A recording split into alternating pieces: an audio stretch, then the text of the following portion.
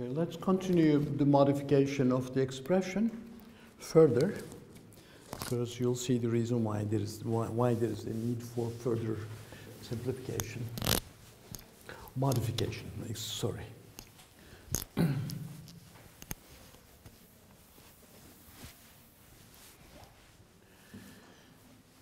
now the electrons this density of states that I have substituted for the energy conserving delta is associated for the electrons moving in any direction, all directions.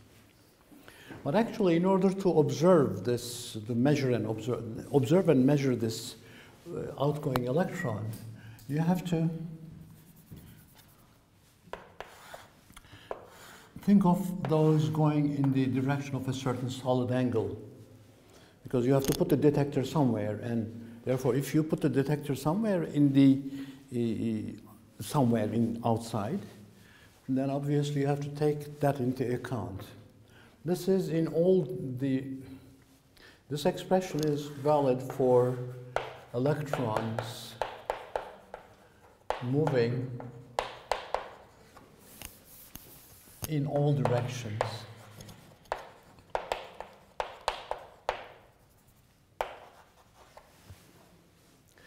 Actually, I will focus on the electrons moving in the, the d omega direction. Omega is the solid angle. And then, uh, so I have to modify the expression saying that if this rho EF is associated with the electrons going in all directions, that's in the 4 pi solid angle. So if I focus on the those going in the d omega directions, and that number should be what? That number should be d omega divided by 4 pi times the rho, right? Obviously. So now, as I'm I have introduced a solid angle, then the, the exact notation should be the d sigma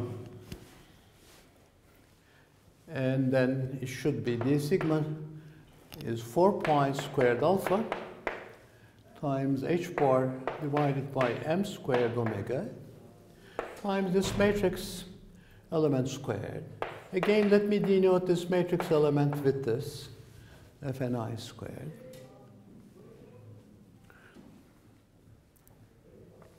times rho ef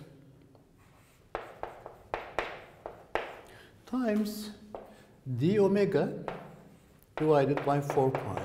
You see, instead of the rho, I have substituted for this and I denoted as d sigma and the, focusing only on the electrons moving in the d omega direction.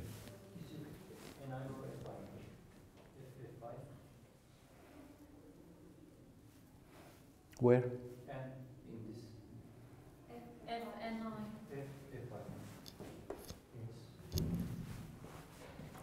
Oh, yeah, it is to be taken at the EF equals. EF equals EI plus H bar omega. Obviously, that is always the energy conservation is to be imposed. This is the Fi. Good. The capital F is the amplitude, the little f and i are the states, initial and final states. Now, at the end of the day, now we have to move this d omega to the left, and because that's the customary expression they look at at the experiments, write it at d sigma over d omega, moving this there, and we have then dividing by the 4 pi pi alpha times h bar divided by m squared m squared omega.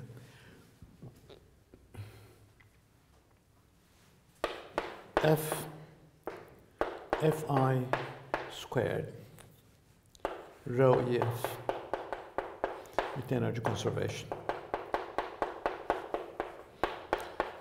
So we are really now at an intermediate step.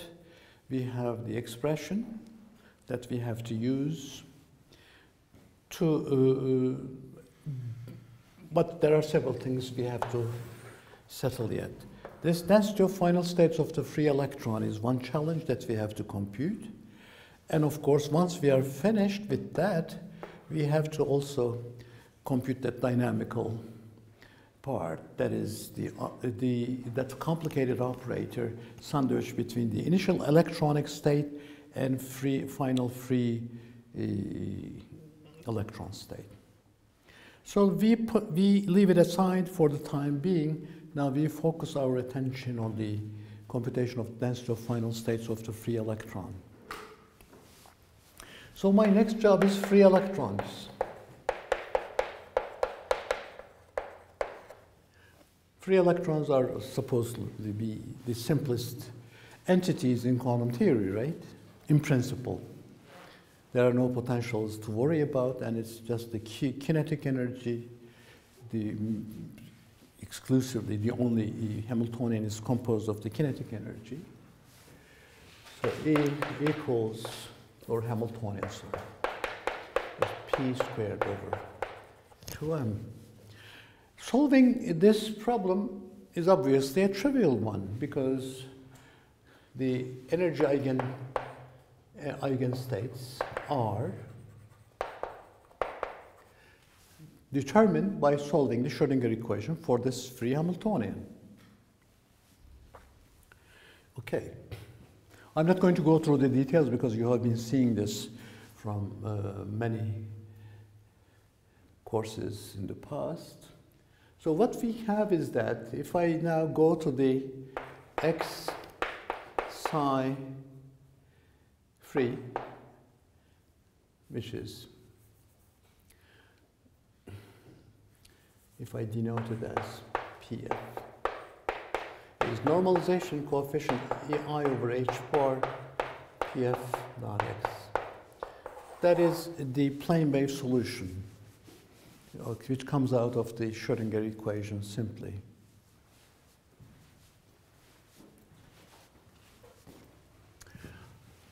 I have put this notation on purpose because that's uh, from fundamental conceptual point of view, it's an important label. What we have uh, done is the following. We are looking for the eigenstates of the free Hamiltonian its energy eigenstates. But as p squared commutes with the p,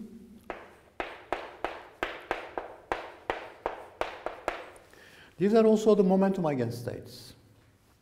So this one, if I use the conventional notation as well, psi pf of x, that's the conventional Schrodinger notation. In our abstract Hilbert space notation is equivalent to this one.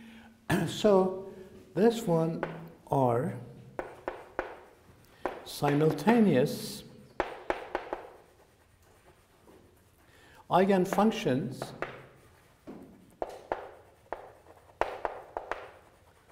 of the Hamiltonian and the momentum operator.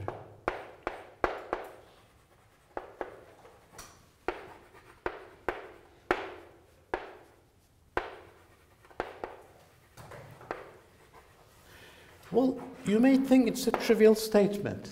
Well, it is, because the, any component of the momentum operator commutes with the square of itself. So uh, it is not only an energy eigenstate, it's also a momentum eigenstate for all the three components. Thus, momentum can be specified precisely in this eigenstate. That's the consequence, right?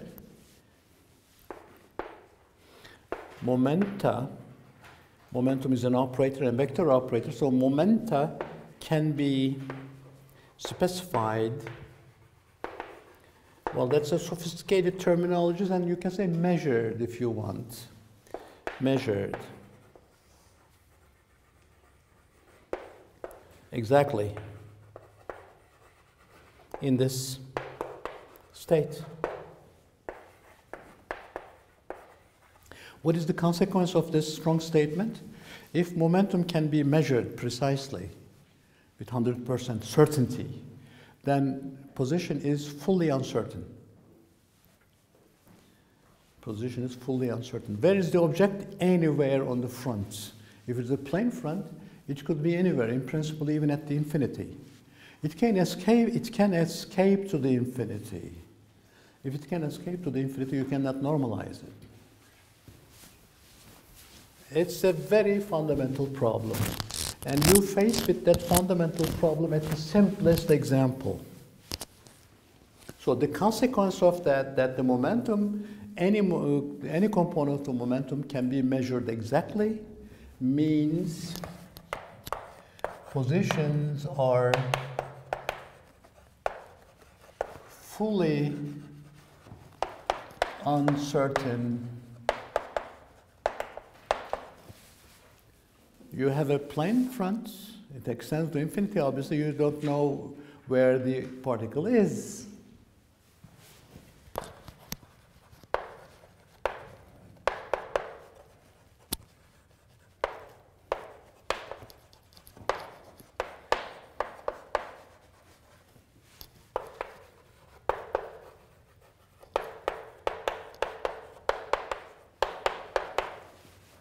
strange, strange, but it explains the fundamental difficulty. Let me tell you what that fundamental difficulty is. Here is the wave function in the x basis. I have to normalize, that is, I have to determine the n. So the usual conventional normalization, in order to give it a meaning quantum mechanically, conventional normalization prescription is 1 is equal to d cube x psi pf x squared. That should be 1. But this one is n times e to the i over h bar pf dot x. When you take the mod squared, this is 1, so it is n squared d cube x infinite. There, there is no place to confine it. It's free particle. It can go anywhere. It can be anywhere, so it is infinite. Meaning, you cannot normalize it in this manner. What kind of mistake we are doing? The point is that we are not, we are not doing a mistake. It is a fundamental problem of the quantum mechanics. So you cannot avoid this problem. You can go around this. You cannot avoid it. You have to find a way of living together with this difficulty. That's called regularization. So we have to develop the regularization method. That is, respecting this difficulty, but still enabling you to handle these objects if you, want, you don't want to exclude the free particles altogether out of the scope of the quantum theory, right? If you say, throw out the free particles, I am only concerned with the non-free objects in quantum theory. But that's not a consistent physical theory. So you have to live with this difficulty. And one way out is Dirac's way of normalization. That's a recipe. Then you point, split the points and you define the normalization integral as d cube x psi pf of x psi pf prime of x delta cube pf pf prime if you coincide them, put them together by setting pf prime is equal to pf, what you get? Infinite. Ah, that's good. You, you, you are supposed to be getting infinity anyway. As I said, you have to live together with that difficulty. You are not trying to eliminate this. So going to that, to that limit, you, should, you really get infinity as you should. But is, does that give you a recipe for Uh, normalization? It indeed does. If I now substitute the explicit expression there, n squared d cube x e to the i over minus i over h bar pf pf prime dotted into x is what you get in the left hand side with that explicit solution so plugged in. And in the right hand side, what you have is this. And what is it? It is, you can write it in the form of an integral representation. Delta has many representations, so you can write it as d cube x e to the i pf pf prime dotted into x. You say no. Dimensionally, that's not the right thing you should do. First of all, if it was just the inverse dimension of x in here, so that it's multiplied into x, giving you a dimensionless number, it's fine. So in order to make it dimensionless, you put that in here. Normally, I would have a 2 pi cube if it was the p divided by h is used as k. But now I'm using that one, so it is this one. In the unit system, h bar is set equal to zero. Life is comfortable. You don't have to worry about these subtleties. But when you have uh, using full constants all the time to distinguish the momentum with the wave vector, as you have pointed out, then of course, when it's the p's, it's the h bar in here. When you are using k, the, if the label is the wave vector, not the momentum, then of course it is the no h bar in there. If you compare these two expressions using the fact that Dirac delta is symmetrical in the entry, the delta of x is the same as delta of minus x. Therefore, this mismatch in the signs of the exponential is no problem. Then you get n equals up to a phase 2 pi h bar to the minus 3 halves. Up to a phase, I say, because it's the norm that you determine. But if your norm is multiplied by an arbitrary phase, you know that in wave functions, it's always determined up to a phase. Expectation values enter psi and psi star, and it's, it's ambiguous up to a phase. So the, in this recipe, in this prescription, the free particle solution becomes 2 pi h bar minus 3 halves e to the i over h bar pf dot x. Is it normalized? It is normalized in this sense. Indeed, when PF and PF prime coincide, then you get the infinity as you should. Well, this is a, this type of normalization is very widely used in the scattering problems. As if we are going to have time to discuss the scattering, I will use this particular normalization. Uh, by the way, although in this curriculum we have listed scattering coming immediately after this subject. As I have done in the past, I will postpone it to the last week or last two weeks, and I will rush into relativistic quantum mechanics because we don't want we want don't want to miss anything in that, and then we'll stop at a certain point in relativistic quantum mechanics, and go back to scattering theory in the last two weeks or so, and complete that. So pedagogically, it is not the, the, the most desirable approach, but for time concerns, I, am going to follow that path. So be prepared for that. So this is, as I said, in a, a normalization which is used in the scattering problems very widely, but I will develop another now normalization prescription it's the second one is called the Box normalization. And let's go through that. It is a very beautiful prescription, really, and fundamentally very profound. So the second one is Box normalization.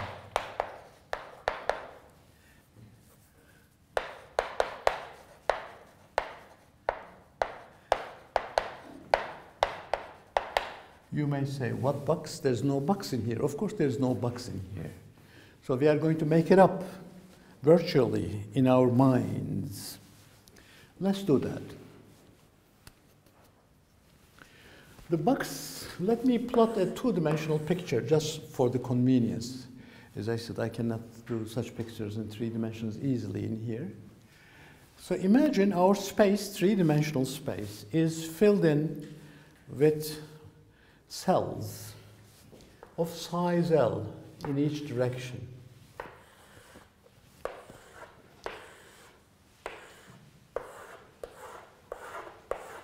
It may not be the most beautiful picture that you have seen, but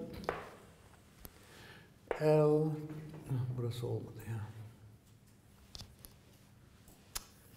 Anyway. 2L, 3L, L, 2L, 3L. So think of these L's. L is a new scale I am introducing. And imagine that there are such walls filling in this room as well. What is the size of the L? I don't know. Then you say, if you don't know why are you introducing it, okay, that's a good reason. If we can demonstrate that, although there are such walls, sort of virtual walls filling in this room, if they are not detectable, if we cannot measure or detect them through observation, then be that it, they can stay in there. So we impose the periodic boundary conditions.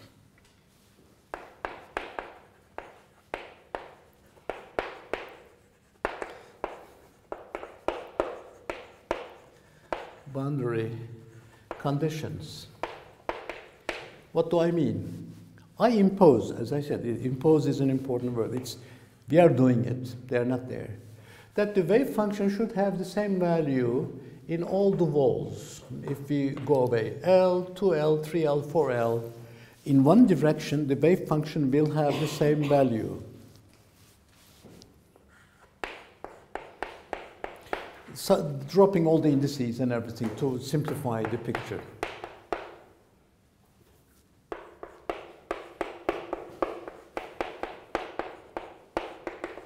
In this direction, and psi y psi y plus L psi y plus 2L and similarly in the Z. We impose this that they are have the same value.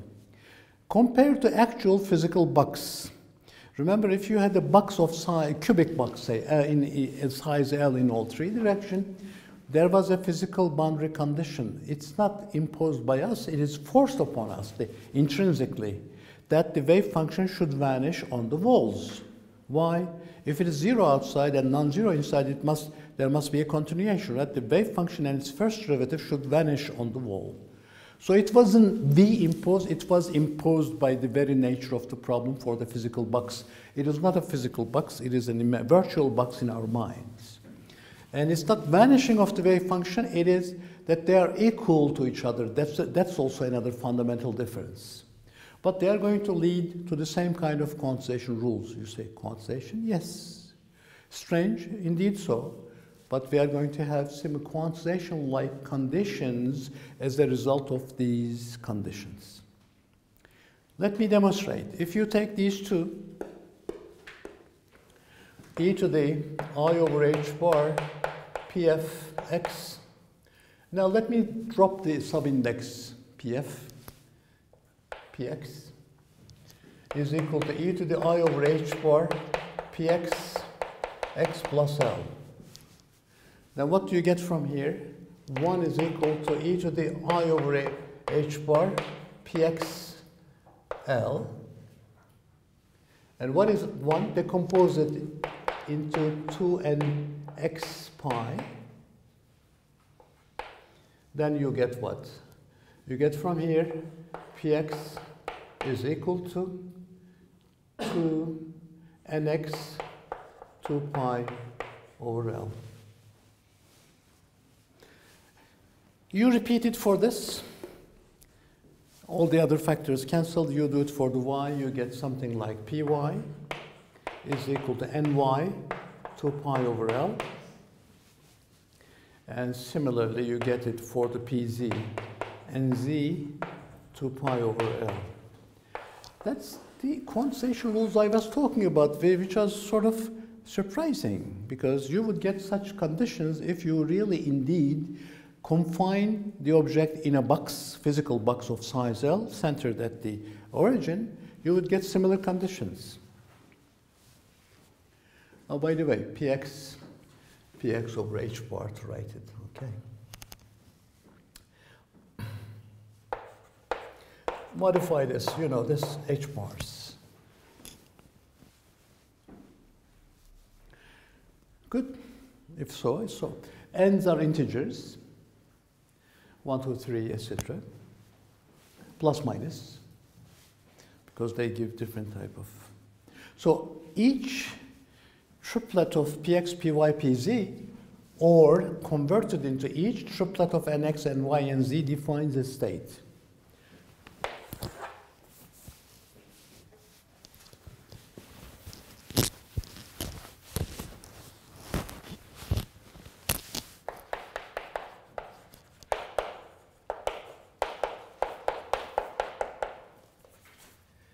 and x and y and z defines a state. What state? Free particle state, right? The, the, the, physical problem under consideration. And what is the energy? Energy is p squared over 2m. So it is 4 pi squared h bar squared divided by 2m nx squared and y squared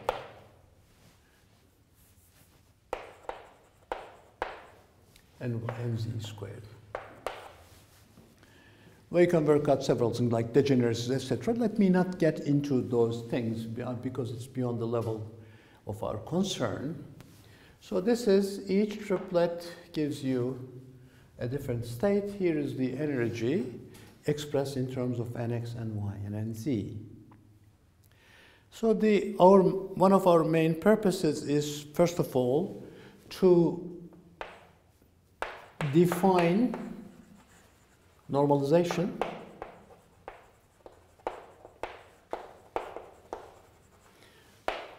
To compute density of states.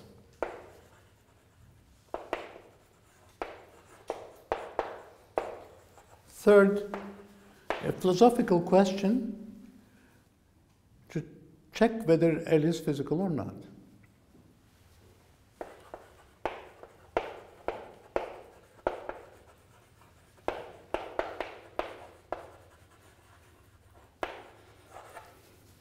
Of course, there are three issues in front of us. We have obtained some very gratifying simple expressions that, like momenta are related to some integers.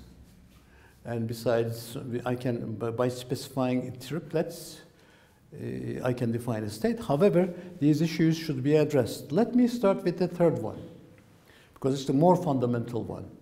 If we can really uh, detect the uh, L and measure it through some observations, then uh, we have to really look at the nature and discuss the, discover it as one of the fundamental constants of the universe.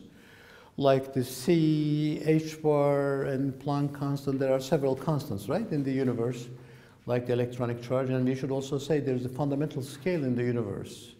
And actual space is not continuous, there's a cellular nature, there's lattice. Some of you probably have seen that there are lattice computations carried out in gauge theories. Perhaps there are lattices in the space, is it? Well, how do I detect and measure? What I have to do is actually go to the point in the x direction to the point L, and all the rest of the coordinates are set equal to zero, and 2L, and go to those points exactly and measure the wave function Well, the wave function was a simultaneous eigenfunction of energy and the momentum, meaning not only energy is 100% specified, the momentum is 100% specified, and the positions are fully uncertain. We don't know where the particles are. So when you go to a specific point x equals L, that is, position is fully certain, the momentum is fully uncertain. It, this wave function is not describing that particle anymore. This particle describes the object with the specified momentum, not specified position. So I cannot go to that point or that point and com uh, compute the wave function and compare against. That wave function is not the wave function which gives you the exact position of the particle. So, L's are not physical because cannot be determined. Hmm. through observations.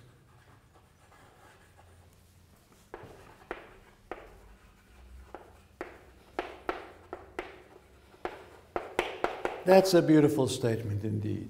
So if they're not physical, if we cannot detect them, then we can use it mathematically without really spoiling anything. Let's turn our attention to the normalization.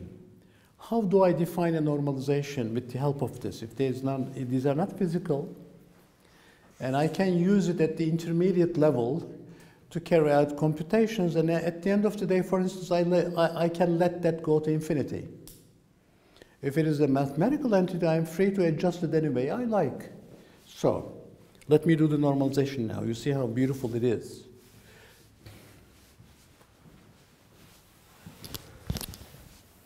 So box normalization prescription is to go to the central cube and normalize it in that central cube only. What is the right hand side? n squared times d cube x central cube. What is this volume? L cube. So what is n? Up to a phase, L to the minus 3 halves. So what is the accordingly normalized in this prescription? Wave function pf of x is e to, sorry, L to the minus 3 halves is times I over H bar PF dotted into X. You just use this, and at the end of the day, you let L goes to infinity to cover the entire space. At the intermediate level, you avoid the singularity. And if at the end of the, at the, end of the day you, you can let it go to infinity freely, then beautiful, wonderful. Can we? We'll see that example in the photoelectric effect. They are going, so we, we are free to manipulate it any way we like.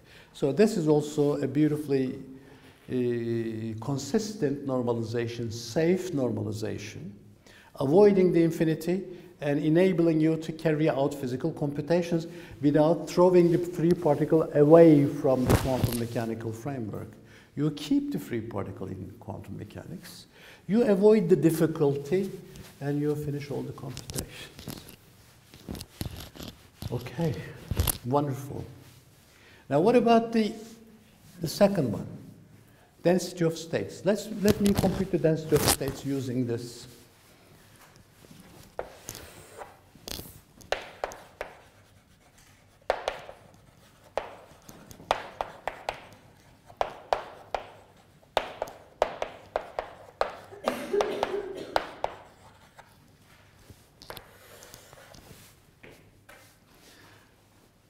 Well, we'll do the following. We said that each triplet of n's integers define a state for you. So let me go to the n space.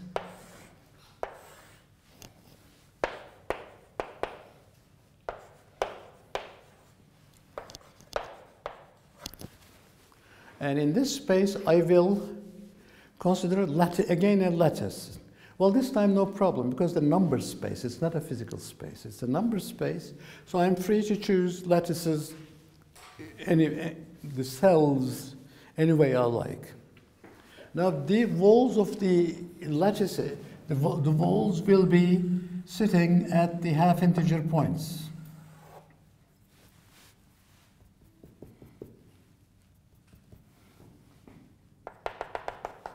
Half integer, that is one half, one half, three halves, five halves,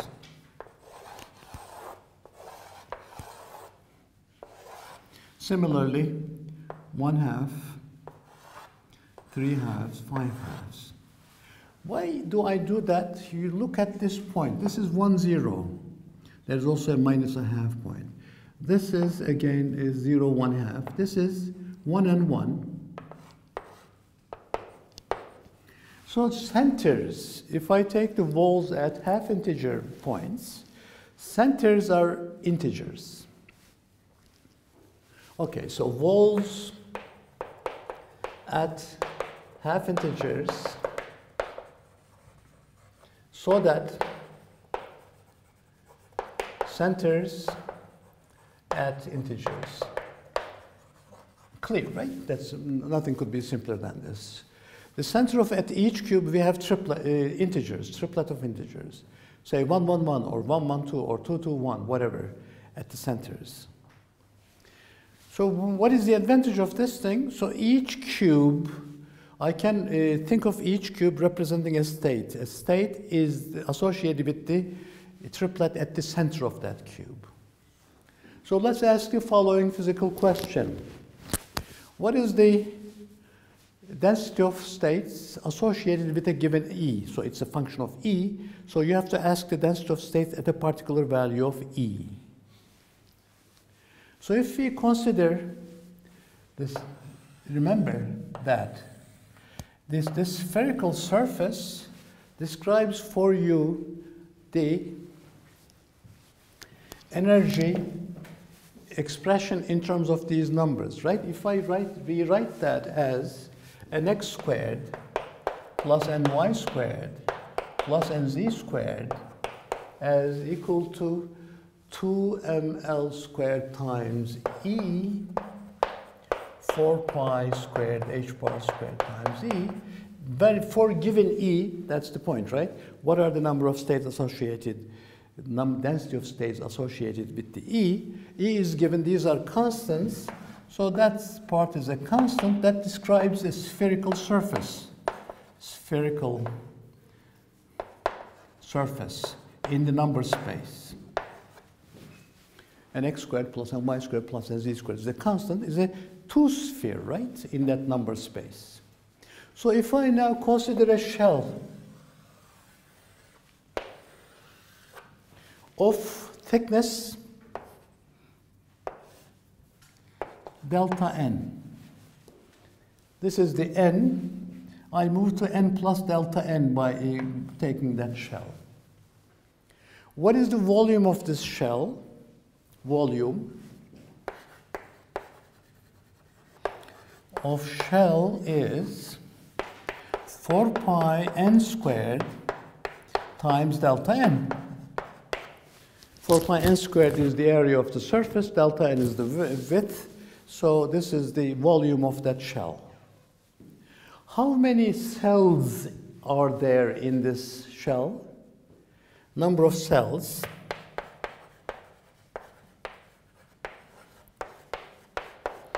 is equal to, let me denote this as delta n, capital N.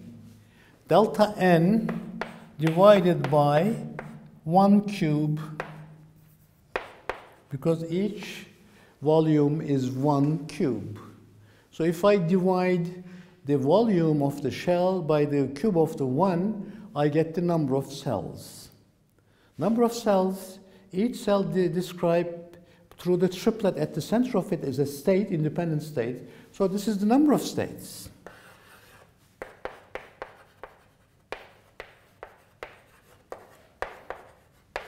Wonderful. So what is that number of states? Delta n is equal to this one.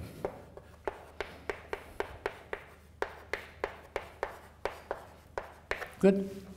So let's compute this.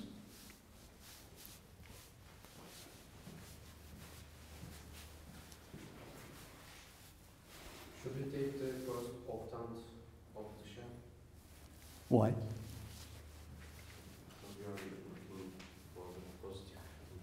Are we? It's exponentials. Box is sines and cosines.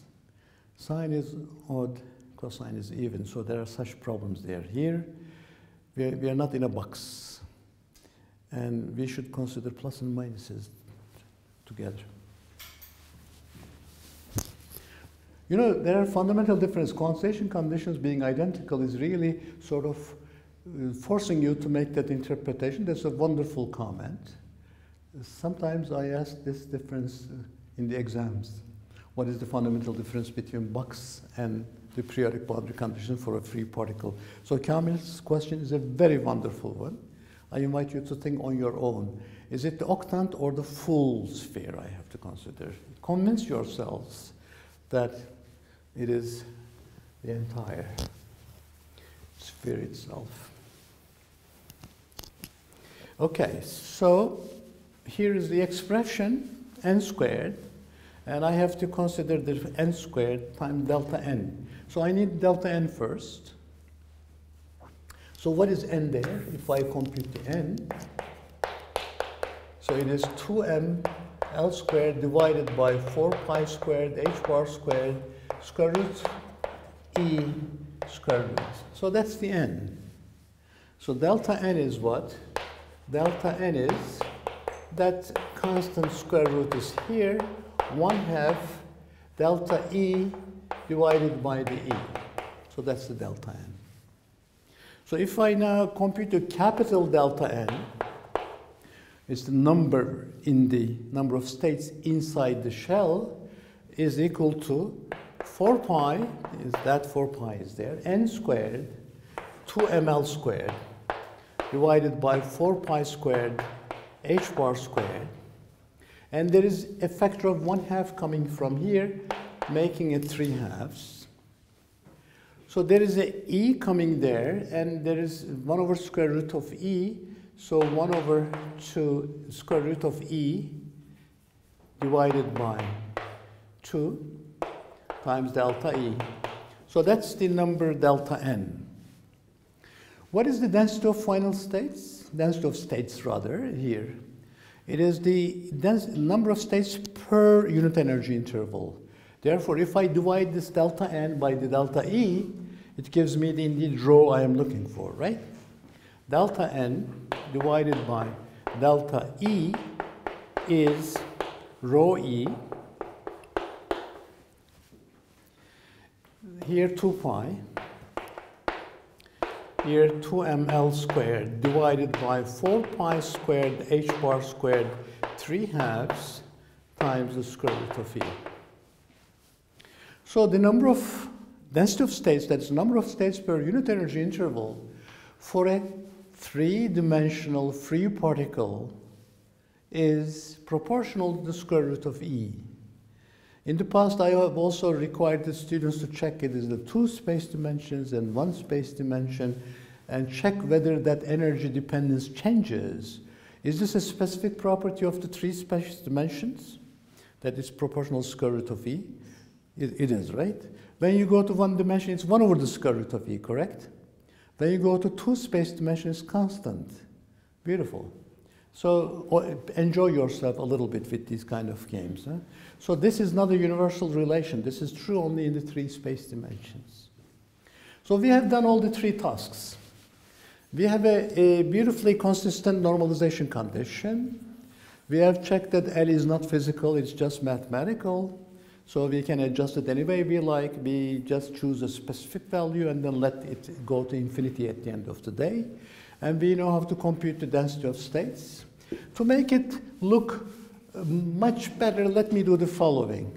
There's L squared and 4 pi squared h bar squared. I will write it in three halves. It is L cube divided by 2 pi h bar cube, right, squared and three, three halves. Well, when you see some books, this is the so-called phase space factor, beautifully written. And but the rest may not look that beautiful. There's a 2 pi in here, and 2m 3 halves, and the square root of e. If I write the square root of e in terms of the momenta, or rather the wave vector, I write this as h bar squared k squared divided by the 2m. So what do I have then? I have L cube divided by 2 pi h bar cube times 2 pi h bar, which will kill one of the factors in here. 2m 3 halves, 2m 1 halves, good, there's 2m, and the kf. Well, this looks a little nicer because then I can write it at L cubed divided by 2 pi h bar squared times 2m kf. So that's the density of states for the free particle we are going to use. Next week, in uh, we have the expression ready for the differential cross section. Everything is ready, so we have to compute the dynamics, the matrix element squared, and finish the cross section. So it's a good point to stop, I guess, indeed.